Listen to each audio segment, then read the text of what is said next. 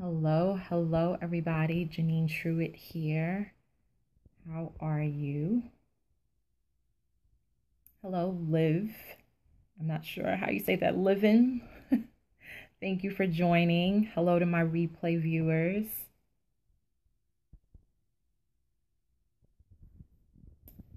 There you go. How are you?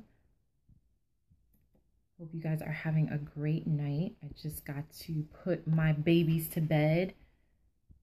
Hello, Lonismo. I hope I'm saying that right. Thanks for joining.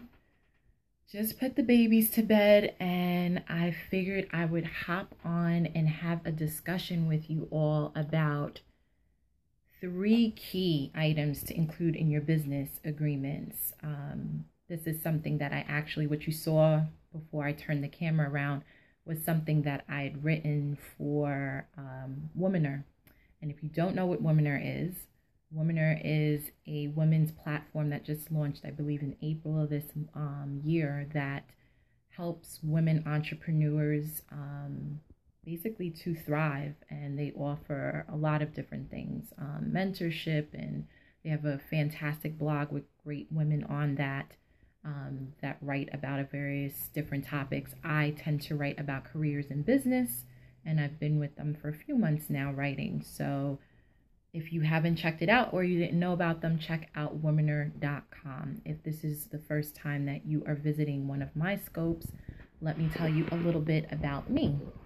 So, as I said before, my name is Janine Truitt, and I am the Chief Innovations Officer for Talent Think Innovations LLC I'm based in New York, and it's a consulting firm that focuses on providing strategy for startups and small to mid sized businesses that help businesses to attract, develop, and retain the right talent for their organizations, essentially. So that's what I do.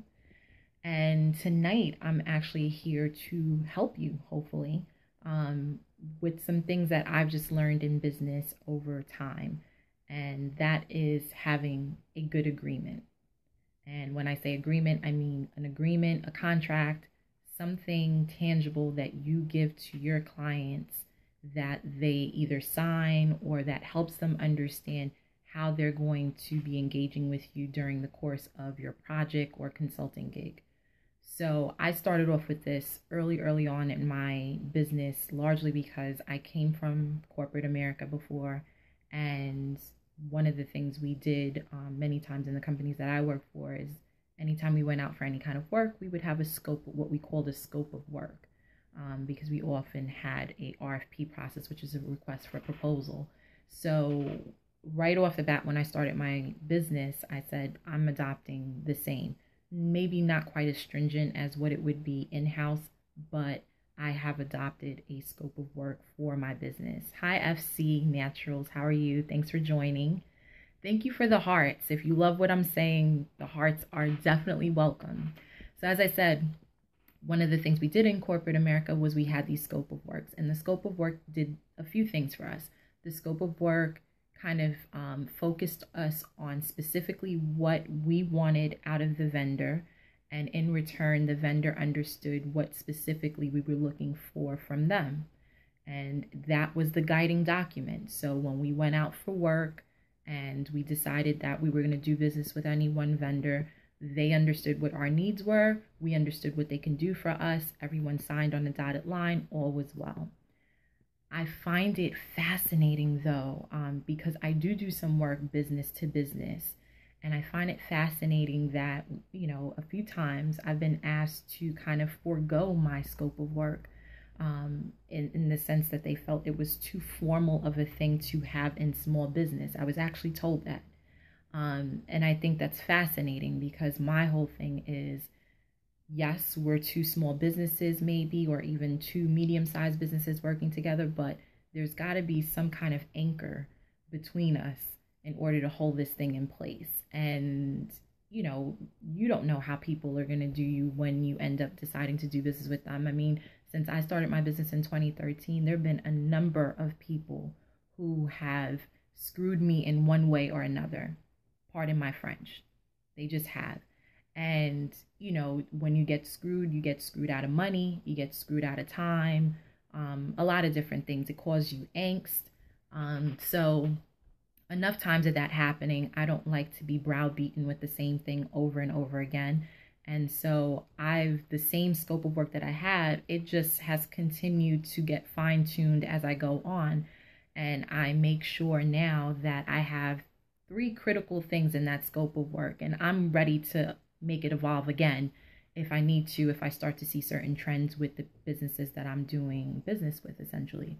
So, one of the things that I that's kind of the alpha and omega of the scope of work is just this whole paragraph or two where you kind of outline, you know, who your company is, what it is you do, and in response to whatever conversation you've had with the client, vendor, whatever, you basically outline specifically what you understand their need to be.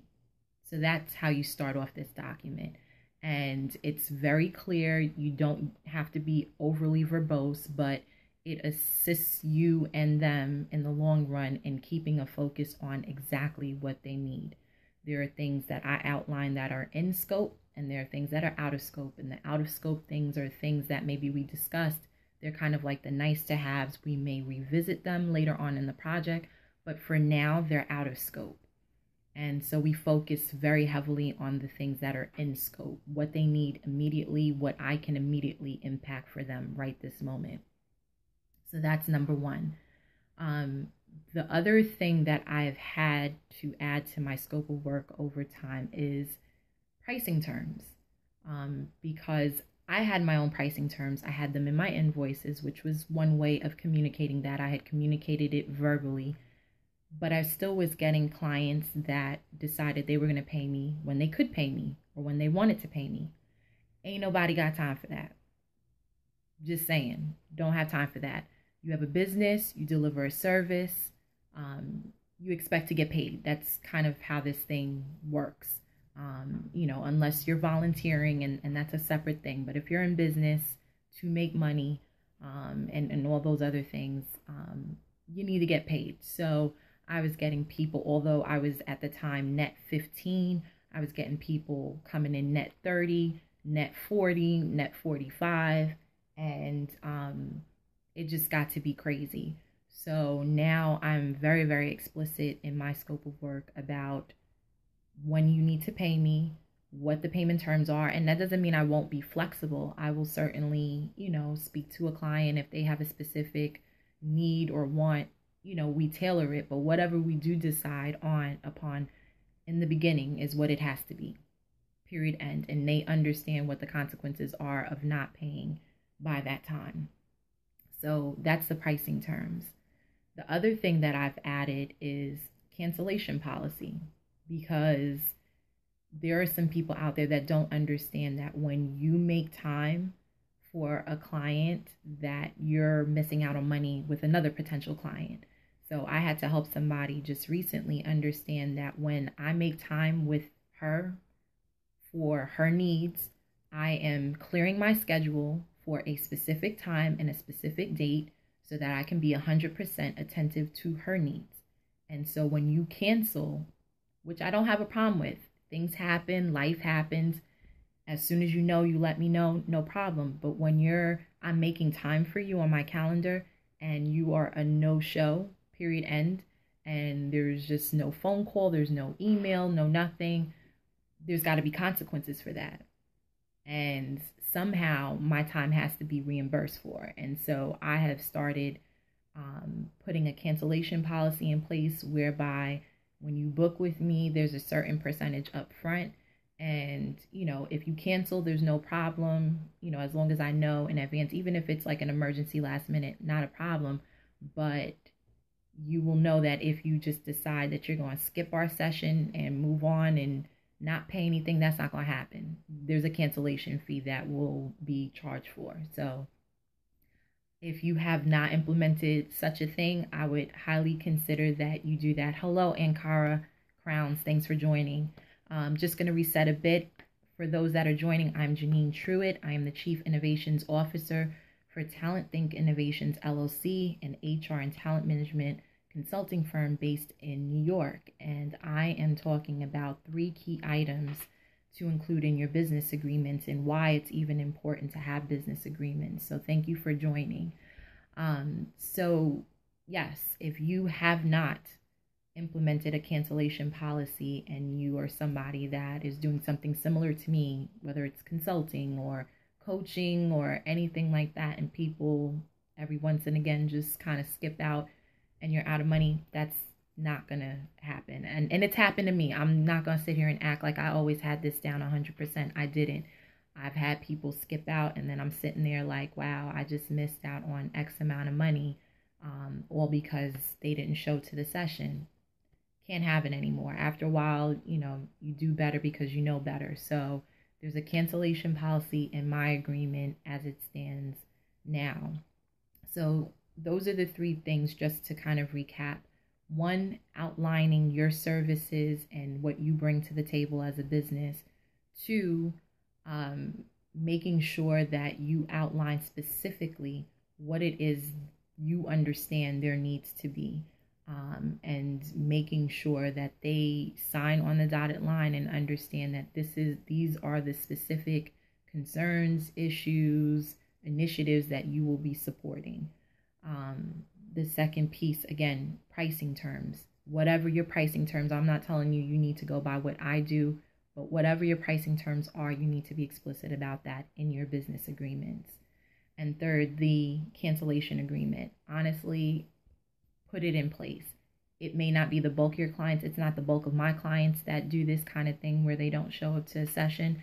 But every once and again, there's somebody that wants to try or doesn't think that it's serious or doesn't think you're going to take it as serious. And you need to have something in place to kind of safeguard yourself. Um, it's so critical. Like I said in the beginning of the scope, I feel like there are some small business owners that have a small business mindset.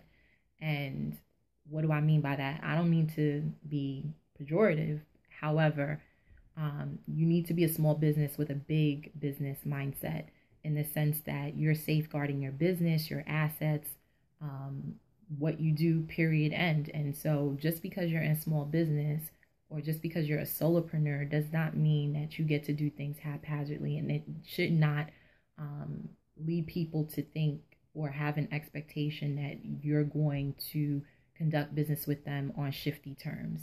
It's, it's very very important that everybody knows what they're getting into when you decide to take a job a project or whatever. So um, nobody should be shocked when you send them over a contract after a consultation call or whatever to say, hey, this is what I understood your need to be. I need you to sign this before we can proceed. I mean, it's just as simple as that. And to the people that have said to me in the past that I was being, you know, perhaps a little too formal in um, expecting somebody to sign my scope of work, to that I say, maybe I'm not the business or partner in business for you. Because as long as I'm in business, I'm going to safeguard my time and my money and you know we can work quite amicably together but you will sign some sort of contract abridged or otherwise um, stating that you understand my terms period end. So i hope this is helpful. I don't know if anybody has questions. If you do you can certainly um, pop something into the window there and let me know if you have any questions but if not, I will bid you adieu. And again, um, I have written this article, I've already written on this. And so if you want to get some more insights on this whole thing, you can certainly go to womeneur.com and I'll spell it for you. It's W O M E N E U R.com. And I am under the careers and business section. And it's not just me, there's just a ton of great resources on this site. So please check out my article, which is three key items to include in your business agreements, but also check out some of the other um, writers that are on there because they're really phenomenal and they're all business owners in their own right. And uh, there's just some great, great information on it. If you are at all interested in what I do, please feel free. Check out talentthinkinnovations.com. I'd love to connect with any one of you if you have any offline questions about this. Again, at talentthinkinnovations.com, you can reach me. You can also reach me at talentthinc I-N-N-O-V at gmail.com as well. And I have a lot of other content too that I have at uh, the aristocracy of HR.com. So certainly check that out. But thank you for joining me. I appreciate you. And you have a great night. Bye.